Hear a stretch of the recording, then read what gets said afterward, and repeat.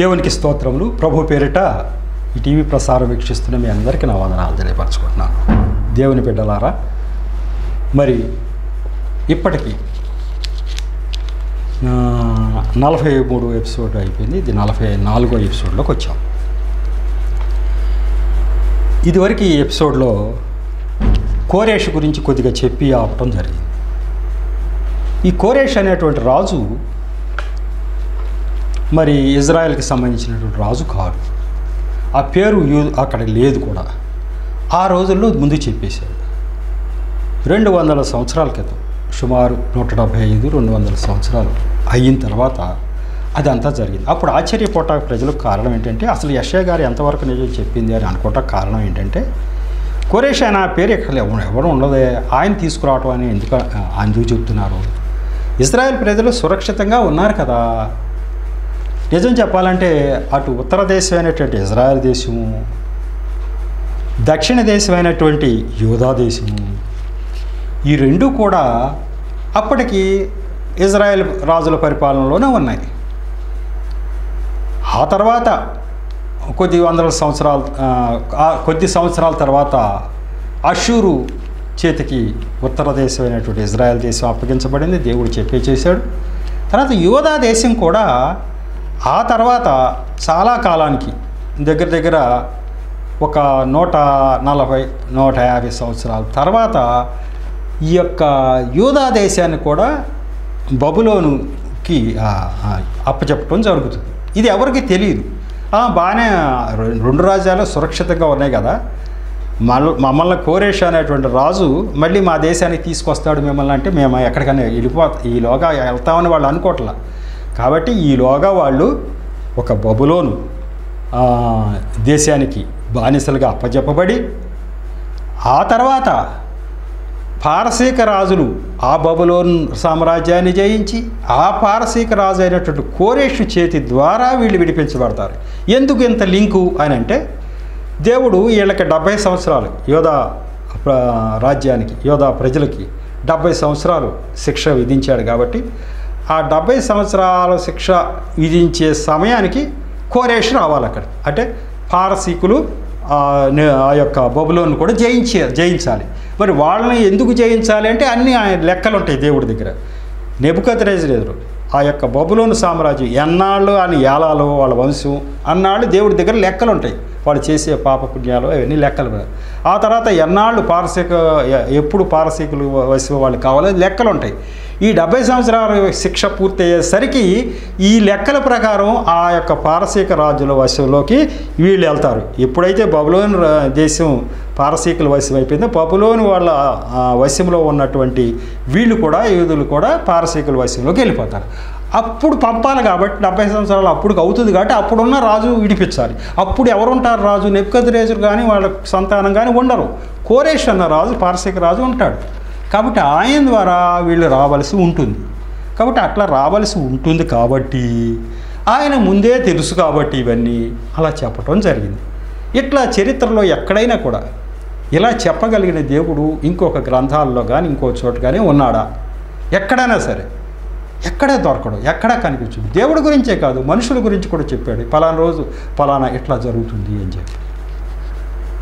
మరి ఏదో మనం గ్రంథాల్లో చూస్తే దివ్యశక్తుల ద్వారా తపశక్తి ద్వారా మునులు దివ్య దృష్టితో చూసి చెప్తారు అని మన కథలు ఉన్నాయి. కానీ ఇప్పుడే మనం అనుకున్నాం ఇంతకు ముందే చెప్పుకున్నాం. అట్లా దివ్య దృష్టి పొందినటువంటి మరి మునులు చరిత్రకు అందినటువంటి ఆ యొక్క కాలాల్లో ఎక్కడ కూడా మనకు కనిపించల. కానీ అలా దివ్య దృష్టి మరి ఉన్నవాళ్ళు బైబిల్ గ్రంథం నిండా ఉన్నారు. బైబిల్ గ్రంథంలో ప్రవక్తలు వాళ్ళు ఏం తపస్సు చేయలే. దేవుడే ఎంచుకున్నాడు అంతే. దేవుడే ఈయన నాకు ప్రవక్త ఈయన నా ప్రవక్త ఈయన నా ప్రవక్త అని చెప్పేశాడు.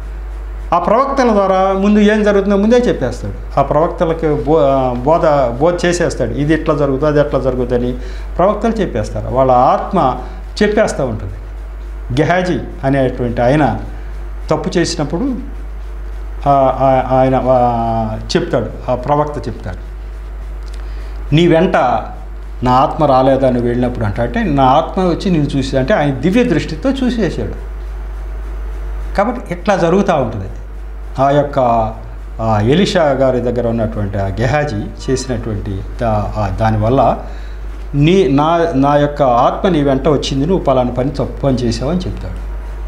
అట్లా చెప్పగలిగింది? వాళ్ళు ఏదో తపస్సు చేస్తే కాదు. దేవుడు ఏర్పరచుకున్నాడు. ఏ ప్రవక్త ద్వారా ఏది చెప్పాలో చెప్పించడం జరిగింది. అయితే నేను క్రైస్తవ మార్గంలోకి వచ్చిన తర్వాత అనేక దేవుని బిడ్డలను నేను చూడటం జరిగింది ప్రత్యక్షంగా.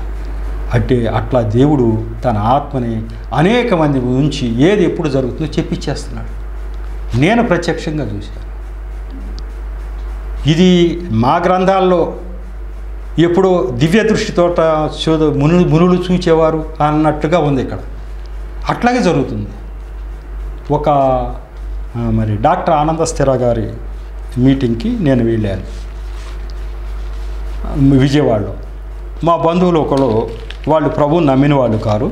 కాకపోతే ప్రభువు నుంచి ఏదైనా ఆశీర్వాదాలు వస్తాయేమో అని చెప్పి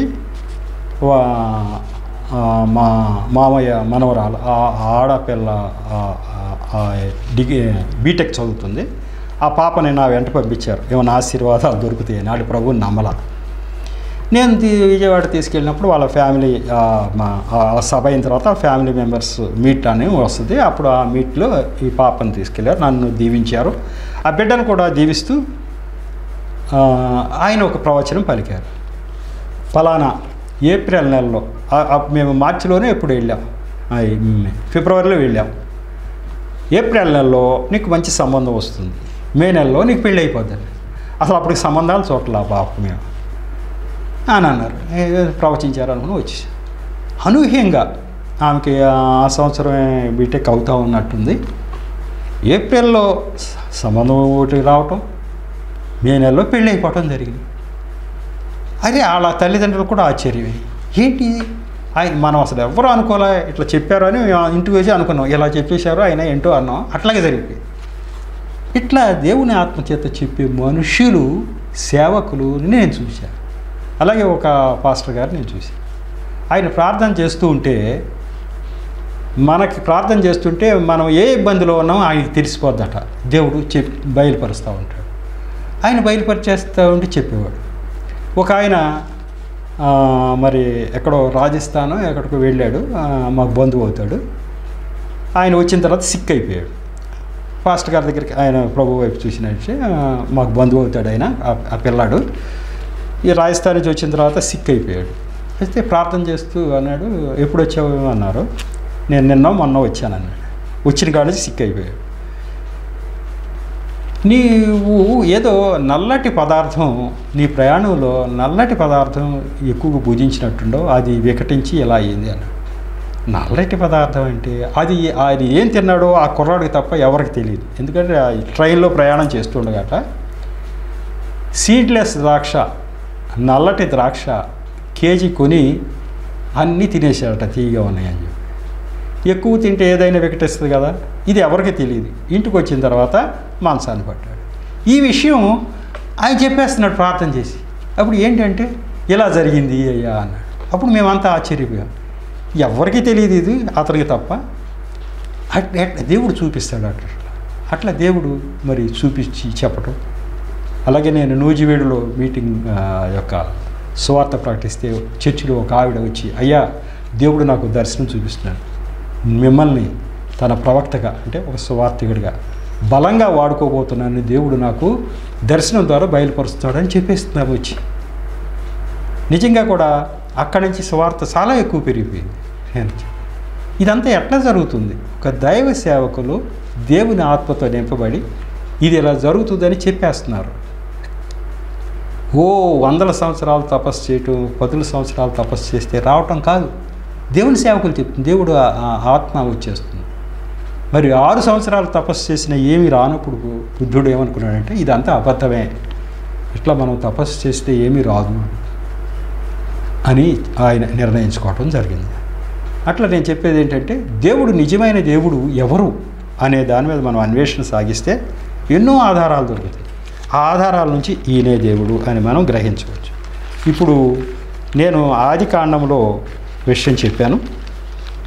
ఈ యొక్క మనస్సాక్షి గురించి అవ్వలేదు ఇంకా. ఎందుకు అంటే ఇది అవసరం. ఎందుకంటే ఇది అక్కడో ముక్క అక్కడో ముక్క ఉన్నాయి. ఇక్కడ బైబిల్ గ్రంథంలో. ఎవరికైనా గబుక్కుని మనస్సాక్షి గురించి ఎక్కడ ఉంది అంటే దాని గబుక్కుని ఇక్కడ ఉంది అని చెప్పటం వీలు పడదు అట్లా ఉన్నాయి. కాబట్టి నేను అన్నిటినీ క్రోడీకరించి మీ ముందుకు తీసుకొస్తున్నాను మీ ముందుకు తీసుకొస్తే అది మీ మైండ్లోకి వచ్చిన తర్వాత మీకు ఒక ఆహా ఇది ఇలా అన్నమాట అని తెలుస్తుంది. దాన్నే మీ ముందుకు తీసుకొస్తున్నాను. ఆది కాండంలో ఆత్మ పెట్టినట్టు వచ్చింది. ప్రసంగి గ్రంథంలో ఆత్మ ఇప్పుడు అక్కడ వరకు వచ్చాం. మొన్న అనేది వెనుకటి వల్లనే మొన్న అయిపోతుంది చనిపోయిన తర్వాత. ఆత్మ దాన్ని దయచేసి దేవుని వద్దకు వెళుతుంది అని ప్రసంగి పన్నెండు ఏడులో చెప్పుకున్నాం.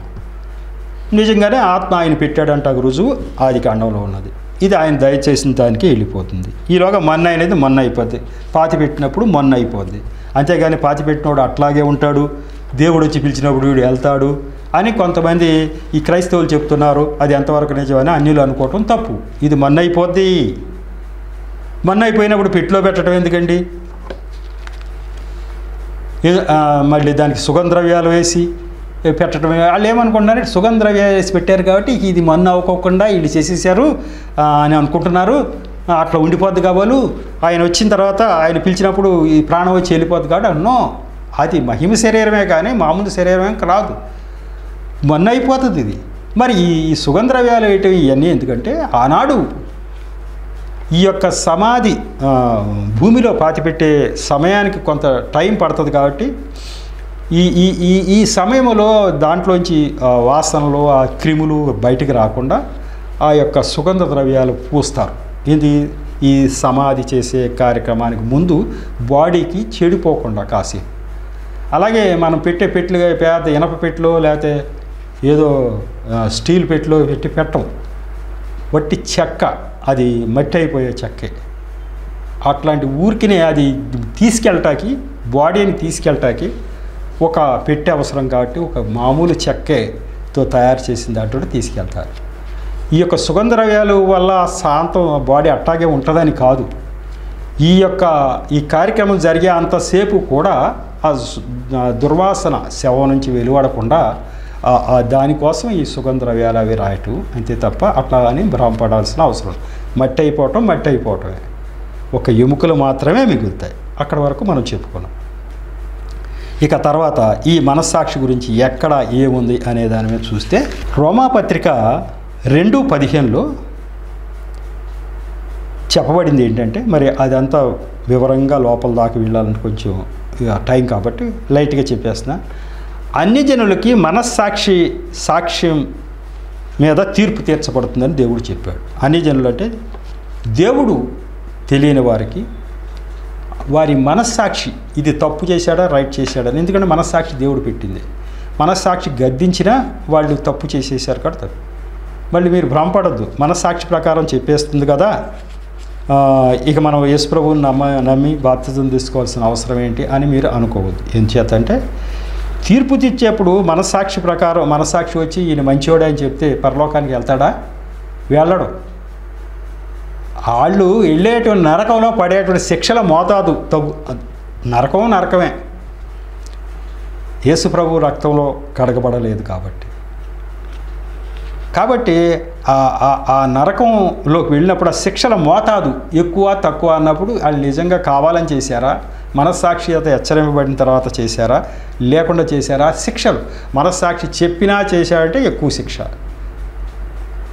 అట్లా మన సాక్షి చెప్పినప్పుడు కొన్ని సరిదిద్దుకున్నట్టు కొంచెం శిక్ష తక్కువ. అట్లాంటి పరిస్థితుల కోసం మనస్సాక్షిని దేవుడు ఆధారం చేసుకుంటాను అని చెప్పాడు. కాబట్టి ఈ మనస్సాక్షిని దేవుడు ఆధారం చేసుకుంటాడు అంటాకి ఇది ఒక రుజువు. అంటే దేవుడు ప్రతి మనిషికి ఈ మనస్సాక్షిని పెట్టాడు. దాన్ని ఆధారం చేసుకుంటాడు దేవుడు. ఆయన ఇచ్చినటువంటి ఆత్మ ఏం చెప్తుందో చూస్తాడు. ఇటువంటి అమూల్యమైన పదాలు ఇంక వేరే గ్రంథాల్లో లేవు మనస్సాక్షి. ఆ తర్వాత రోమపత్రిక పదమూడు ఐదులో ఏం చెప్పాడంటే మీరంతా అధికారులకు బాగా లోబడి ఉండండి. ఏదో వాళ్ళకు భయపడి మాత్రమే కాదు మీ మనస్సాక్షిని బట్టి కూడా అది అవసరం అన్నాడు. మీ మన మనస్సాక్షి కూడా చెప్పుద్దట. అధికారులకి మనము లోబడి ఉండాలి వాళ్ళని ఎదిరించకూడదని మన మనస్సాక్షి కూడా చెప్పుద్ది. అది కూడా మీరు దృష్టించుకోండి. ఏదో వాళ్ళకి భయపడేని కాదు. వాళ్ళు భయ వాళ్ళు శిక్షించడానికి ఒక ఆయన అధికారి శిక్షించడం. ఎదిరించినా ఏం చేయడు. అప్పుడు ఎదిరిస్తావా? ఎదిరించవు అసలు ఎదిరించవు. ఎందుకంటే మనస్సాక్షి చెబుతుంది. నువ్వు ఎదిరించకూడదు అసలు ఎదిరించకూడదు. ఆయన శిక్షించట్లేదంటే మన మీద చాలా ఉపేక్ష చూపించాడు కాబట్టి మన మీద చాలా కరుణ చూపించాడు కాబట్టి. నువ్వు అసలు ఆయనకి ఏమాత్రం ఎదురు చెప్పకూడదని మనస్సాక్షి చెప్పుద్దట ఆ మనస్సాక్షిని బట్టి కూడా నువ్వు విధేయుడై ఉండమన్నాడు. అక్కడే చెప్తాడు. ఈ లోకంలో ఉన్న అధికారులు అందరూ దేవుడు నియమించిన వాళ్ళే. ఎవరిని స్థాపించగోరతారో నేను వాళ్ళని స్థాపించగోరతాను అని అన్నాడు. అంతే సమస్త రాజ్యముల్లో ఆయన ఏలుతాను అన్న ఏలుతాను అని చెప్పాడు. నెముకద్రజరి తప్పు చేసినప్పుడు చెప్తాడు. ఆయన్ని ఏడు సంవత్సరాలు ముఖప్రాయుడుగా అరణ్యంలో ఉండేటి చేస్తాడు. ఇప్పుడు దాకా ఎందుకు అంటే అన్ని రాజ్యములలోనూ పరిపాలిస్తున్నటువంటి దేవుడే అని ఆయన గ్రహించేటంత వరకు కూడా ఎవరిని స్థాపించాలో ఎవరిని స్థాపించకూడదో ఆయన ఇష్ట ప్రకారం జరుగుతుంది. అంతేకాని మన వల్ల మన బలం వల్ల కాదు అని గ్రహించేదాకా ఆయన గడ్డి మేస్తూ అరణ్యంలో ఉండాలని నేను నిర్ణయించాను. అది గ్రహించిన తర్వాత మళ్ళీ మామూలు స్థాయికి తీసుకొచ్చాను అని చెప్తాడు. కాబట్టి ఈ యొక్క మనస్సాక్షి ఈ విషయంలో ఏంటి అంటే ఆ- ఆ- లోపల నుంచి దేవుడు ఇది న్యాయం అన్యాయం అనేది చెప్పిస్తూ ఉంటాడు. కాబట్టి ఇక్కడ కూడా మనస్సాక్షి ఉంది అని తెలుస్తుంది. తర్వాత ఒకటి కొరింతు కొరి ఒకటి కొరింతి ఎనిమిది ఏళ్ళు అంటే కొరింతీలకు రాసిన మొదటి పత్రిక ఎనిమిదో అధ్యాయం ఏడో వచనంలో ఏమంటే మనకు కలిగిన జ్ఞానం అందరికీ లేకపోవటం చేత వారి మనస్సాక్షి బలహీనం అగుచున్నది జ్ఞానం లేక కూడా మనస్సాక్షి మాట మనం వివం వి- వినం. కాబట్టి జ్ఞానం ముందు సంపాదించుకోవాలి. జ్ఞానం సంపాదించుకుంటే మనస్సాక్షి ఏం చెబుతుందా అని వింటాం. కొంతమంది అసలు ఏ జ్ఞానము మాకు అక్కర్లేదు అన్న వాళ్ళకి మనస్సాక్షిని ఇక బలహీనం అయిపోతూ ఉంటుంది అంటే దాన్ని యాక్టివేట్ అవ్వాలంటే దాన్ని ఉపయోగిస్తేనే కదా. మనస్సాక్షిని చెప్పేది మనం వింటేనే కదా. ఆ జ్ఞానం తెలుసుకుంటే కాబట్టి అట్లా ఉన్నప్పుడు మాత్రమే అలా మన జ్ఞానం లేని వాళ్ళు ఇట్లా మనస్సాక్షి బలహీనం అయిపోయి ఇక హెచ్చరించడం ఉండదు. యాక్టివేట్ కాదు బాగా అది. కాబట్టి అట్లా జరుగుతుంది. అలాగే కొరింతీలకు రాసిన మొదటి పత్రిక ఎనిమిదో అధ్యాయం పన్నెండో వచనంలో ఏం చెప్పాయంటే మనము జ్ఞానము కలిగిన వారమై వారిలాగున చేయకూడదు. అప్పుడు మనలను చూచి వారు నేర్చుకుందురు. వారి బలహీనమైన మనస్సాక్షిని మార్చుకుందురు అని ఉన్నారు ఎంత బ్యూటిఫుల్ వర్డ్ ఇది అంటే ఇది నాకు ఒక దర్శనంలో కూడా దేవుడు బయలుపరిచారు. మన జ్ఞానం వచ్చింది. ఏది చేయొచ్చో ఏది చేయకూడదు. జ్ఞానం వచ్చితే ఆ జ్ఞానం ప్రకారం మనం ప్రవర్తించాలి. నిజమైన దేవుడిని వదిలిపెట్టి సృష్టికర్తను వదిలిపెట్టి సృష్టాన్ని చేతులతో చేసిన దాన్ని మనం దేవుడు మన కొరకు పెట్టిన వాటిని అన్నింటినీ దేవుళ్ళు దేవుళ్ళని మరి కొలుస్తూ ఉంటే అందరూ అందరూ కొలుస్తూ ఉన్నారు కదా మనం కూడా ఒక దండం పెడదామని మనం చేయకూడదు. వాళ్ళు జ్ఞానం లేక చేస్తున్నారు నీకు జ్ఞానం ఉంది నువ్వు చేయకూడదు. ఒకవేళ నువ్వు అలా చేస్తే వాళ్ళు అది నేర్చుకోలేరు వాళ్ళు గ్రహించలేరు. నీవు అలా చేయకుండా ఉంటే మనల్ని చూసి వారు నేర్చుకుంటారు అప్పటి వరకు బలహీనమైన మనస్సాక్షి మార్చుకుంటారు. ఏంటి పలానాయన మనం ఆరాధించే మనం దేవుళ్ళు అనుకున్న వాళ్ళని దేవుళ్ళు అనుకోవట్లేదా ఏంటి? ఆయన నమస్కారం పెట్టలేదు ఆ ప్లేస్కి రావట్లేదు అని ఆలోచించి వాళ్ళ మనస్సాక్షి ఈయన తెరవ తెరవస్తాకి ప్రయత్నం చేస్తారు దేవుడు తెరుస్తాడు. ఏదో తేడా ఉంది నువ్వు గ్రహించు. తేడా ఉంది నువ్వు చూసుకో. ఆ విజ్ఞానవంతుడైనటువంటి ఆయన మీ మీలాగా అది చేయట్లే. ఆయన విజ్ఞానంలో ఏ ఏదో ఉంది నీకు తెలియాల్సింది. అది తెలుసుకో అని నీకు బోధిస్తూ ఉంటాడు.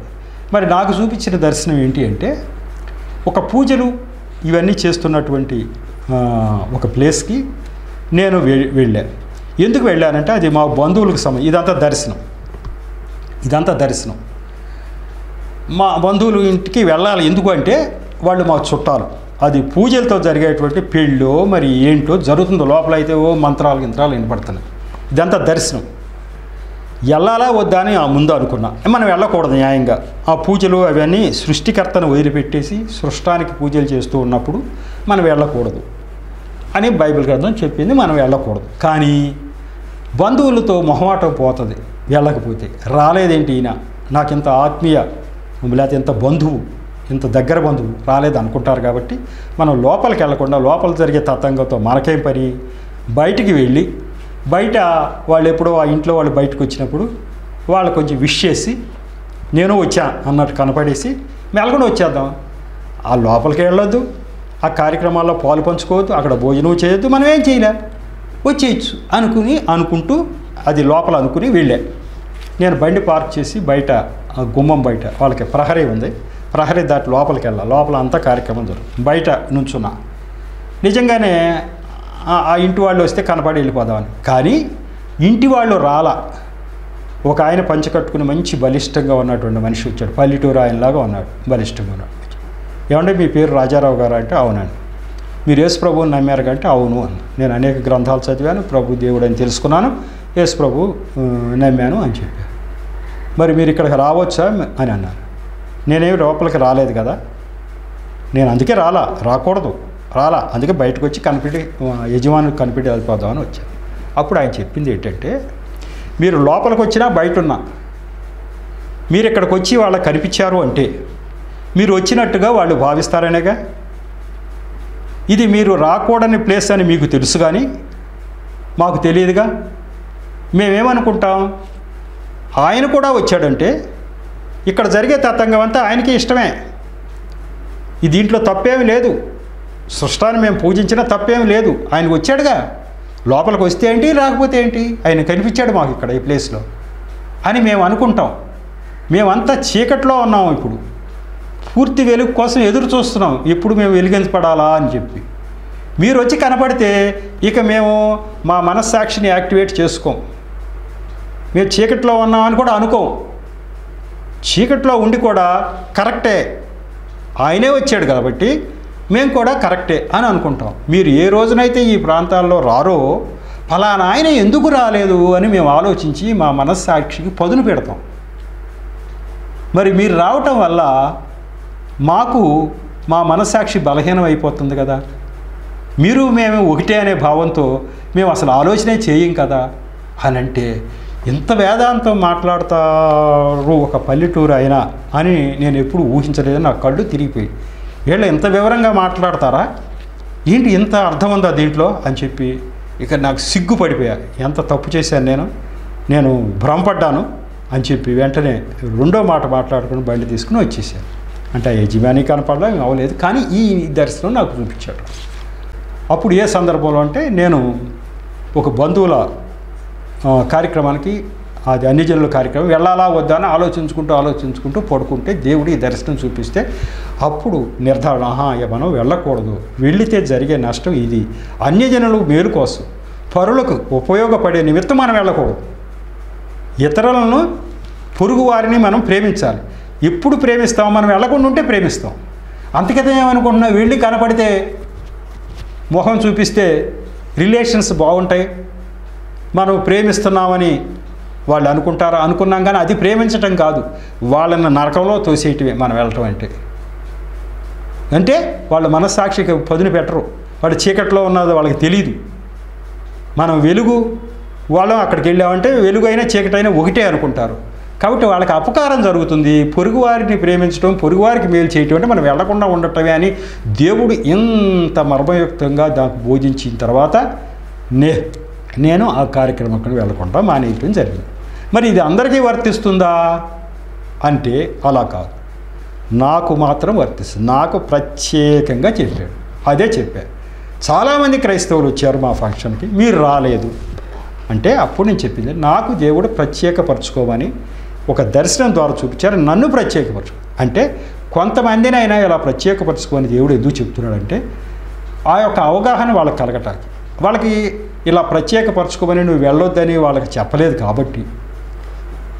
వాళ్ళు ఒకవేళ వస్తే వచ్చిండు. మీ ప్రసాదాలు అవి తీసుకోకుండా వాళ్ళు ఏదో వా- వాళ్ళకి తోచినంత విధంగా వారి పవిత్రతను కాపాడుకుంటూ వచ్చేసి ఉండొచ్చు. కానీ నేను అసలు అది కూడా వెళ్ళటానికి వీల్లేదు. కొంతమంది నీ దేవుడు చెప్తాడు. కాబట్టి నాకు అది చెప్పాడు నేను రాడు. కాబట్టి దేవుడు జీవం కలిగిన దేవుడు అందరితో మాట్లాడే దేవుడు నన్ను ఏర్పరచుకున్న పర్పస్ నన్ను ఒక సువార్థకుడిగా ఆయన నియమించబోతూ ఉన్నాడు. నన్ను అనేక చోట్ల నిలబడి దేవుడు మాటలు చెప్పించి స్థాయికి తీసుకెళ్ళదలుచుకున్నాడు కాబట్టి నన్ను ఇలా ప్రత్యేకపరచుకోని ఇలా చేయొద్దని ఇలా చేయమని ఎప్పటికప్పుడు చెబుతున్నాడు. అది నేను ఖచ్చితంగా తూచే తప్పకుండా నేను పాటించవలసి ఉంటుంది అని నేను చెప్పడం జరిగింది. కాబట్టి అట్లా దేవుడు ఎప్పటికప్పుడు బోధించేటువంటి దేవుడు. ఇప్పుడు ఉన్న ఈ ఒకటి కొరింతి ఎనిమిది పన్నెండులో చెప్పింది ఏంటి అంటే మనము మరి వా మనల్ని చూసి వాళ్ళు నేర్చుకునేటట్టుగా వాళ్ళ బలహీనమైన మనస్సాక్షిని మార్చుకునే విధంగా మనం ఉండాలి. అదే వాళ్ళకి మనం మేలు చేసినట్లు అని నేను గ్రహించడం జరిగింది. ఇక ఆ తర్వాత ఎందుకంటే మనస్సాక్షి అనేది ఎక్కడెక్కడ ఉంది ఏంటి అని మనం అనుకుంటా ఉంటాం. అలాగే ఆత్మ అనేది ఉంది లోపల అంటాకి ఒకటి తెస్సలోనిక తెస్సలోనికలకు రాసినటువంటి ఒకటో పత్రిక మొదటి పత్రిక ఐదో అధ్యాయం పంతొమ్మిది నుంచి ఇరవై ఒకటి వరకు ఏం చెప్తున్నారంటే పౌలు గారి ద్వారా దేవుడు మాట్లాడుతున్నాడు. పౌలు గారు మాట్లాడితే దేవుడు మాట్లాడుతున్నారు అంటారు ఏంటి అని మీకు అనుమానం రావచ్చు. దేవుడే పరిశుద్ధ గ్రంథం రాయించినట్టు జకరే గ్రంథం ఏడు పన్నెండులో చెప్పాం ఇదివరకు దేవుడే ప్రతి వాక్యం రాయించాడు మనుషుల చేత. కాబట్టి పౌలు గారితో చెప్పించింది ఏంటంటే ఆత్మను ఆర్పకుడి ప్రవచించున ప్రప ప్రవచించుటను నిర్లక్ష్యము చేయకుడి. సమస్తమును పరీక్షించి మేలైన దానిని చేపట్టుడి. ఇది దేవుడేమన్నాడంటే మీలో ఒక ఆత్మను పెట్టా. ఆ ఆత్మ సమస్తాన్ని పరిశీలించి మేలేదో తప్పేదో రైట్ ఏదో మీకు చెప్పుద్ది. అది చేయండి. అంతేగాని నేనే విడిగా చెప్పేది ఏమి లేదు. కాబట్టి ఆత్మను ఆర్పకండి. ఆత్మ ఏదో చెప్తా ఉంటే ఏదో చెప్తావు లోపల. నాకు నాకెందుకు? నాకు స్వలాభంగా వెళ్ళిపోతా అనొద్దు. ఆర్పొద్దు. ప్రవచించుట నిర్లక్ష్యం చేయ ప్రవచించుట అంటే ఆ దేవుడు చెప్పిన దాన్ని నిర్లక్ష్యం చేయొద్దు. దేవుడు ఏదైతే బయలుపరుస్తాడో దాన్ని నిర్లక్ష్యం చేయొద్దు. అది దాన్ని తోసిపారేస్తారు. ఏదో చెప్తుంది లోపల. నిర్లక్ష్యం చేయొద్దు. ఆ దేవుడు చెప్పే దా మాటని. కాబట్టి ఆత్మను ఆర్పొద్దు. సమస్తాన్ని పరీక్షించి మేలైన దాన్ని చెప్పండి మీకు పెట్టి మరి మేలైంది ఏదో మాకెట్ట తెలుసు? మీకు ఆత్మే చెప్పుద్ది. నేను పెట్టిన ఆత్మే అది. మేలైంది ఏదో మీ మీరు పరిశీలించండి. ఆత్మ చెప్పు ఇది మేలు అని చెప్పి. అలా ఆత్మ ఆ ఆత్మ చెప్పబట్టే అనేకమైంది. మరి సంస్కరణలు అన్నీ చేసి ఈ యొక్క మరి అనేక మంది నేను చెప్పిన ఎగ్జాంపుల్స్ అన్నీ కూడా ఆత్మ ఆత్మ చెప్పింది. ఆత్మ ఇది మేలు ఇది తప్పు ఇది రైటు అని చెప్పింది దాని ప్రకారం. కాబట్టి ఆత్మ ఉన్నది అంటకు రుజువులు. ఈ ఆత్మను పెట్టాము అని చెప్తే అలాగే మరి కొరింతీలకు రాసిన రెండో పత్రిక ఐదో అధ్యాయం. పదకొండో వచనంలో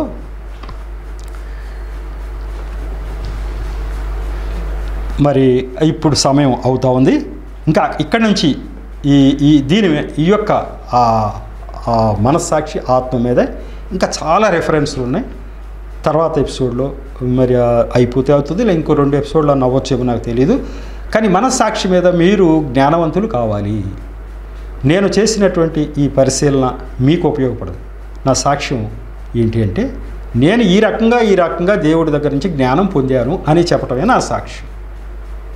ఆ జ్ఞానమే మీకు ఇవ్వమని దేవుడు నన్ను ప్రేరేపిస్తున్నాడు. కాబట్టి ఇది ఇస్తాను. మీరు దీన్ని ఎక్కడెక్కడ దేవుడు చెప్పాడు అనేది మీరు నోట్ చేసుకోవటానికి వీలవుతుంది. తర్వాత ఎపిసోడ్లో మరి మిగతా రెఫరెన్సులు చాలా ఉన్నాయి రెఫరెన్సులు ఎక్కడెక్కడ ఈ మనస్సాక్షి గురించి దేవుడు మాట్లాడాడు అనేది నేను చెప్ చెప్తాను. మరి ఇప్పుడైతే చిన్న ప్రార్థన చేసుకుని ముగించుకుందాం. దేవుడు మరి ఈ యొక్క మాటల్ని దీవించునుగాక చిన్న ప్రార్థన చేస్తాను. కృపకల దేవ మహాపరిశుద్ధుడ ప్రభావ మీకు వందన స్తోత్రాలు చెల్లించుకుంటున్నా తండ్రి. ఈరోజు కూడా ప్రభావ ఈ యొక్క ఎపిసోడ్లో కూడా ప్రభావ ఈ యొక్క మనస్సాక్షి గురించి దేవుడు ఎక్కడెక్కడ ఏ వచనాలు బయలుపరిచారో మీ బిడ్డలకి తెలిసే విధంగా నన్ను నడిపించినందుకు వందనాలు స్తోత్రం దీని ద్వారా ప్రభావితమయ్యే ప్రభువ దేవుడు మనస్సాక్షిని పెట్టిన రుజువులు అనేక మంది వారు చెప్పులాగానే వారిని ప్రభావితం చేయమని ప్రార్థిస్తాం. అలాగే నన్ను నో పరిచర్య ముందు కూడా ఆశీర్వదించి. నిరంతరం మీ కాపుతాలు మీ అందరూ బిడ్డల మీద ఉంచమని ఇంకను మీ యొక్క నామం తెలియని వారికి తండ్రి ఈ జ్ఞానం వెళ్ళటానికి తగిన విధమైన ప్రణాళిక రచించి అమలుపరిచి ఆశీర్వదించమని మహిమగంత ప్రభావం మీరే పొందుకోమని మా ప్రభు రక్షకుడైన ఏ స్నాన ప్రార్థించి వేడుకుంటున్నా తండ్రి. ఆమె మీ అందరికీ వందనాలు.